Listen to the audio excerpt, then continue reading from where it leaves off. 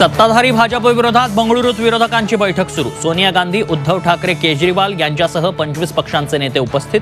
तर शरद पवार उद्या सकाळी बैठकीला पोहोचणार.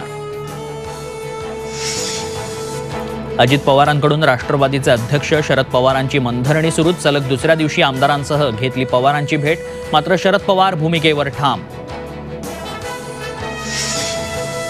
शिंदे गटाच्या आमदारांनी विधानसभा अध्यक्ष राहुल नार्वेकरांकडे पाठवलं अपात्रतेच्या नोटिशीचं उत्तर.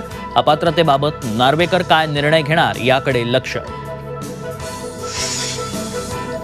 विधान परिषदेतला वाद राज्यपालांपर्यंत पोहोचला.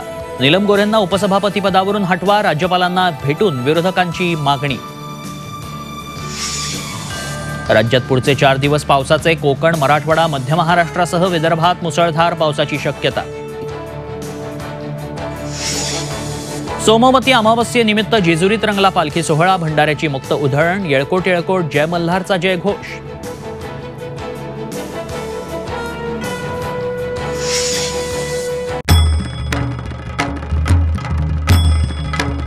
भंडाऱ्याची उधळण म्हणजे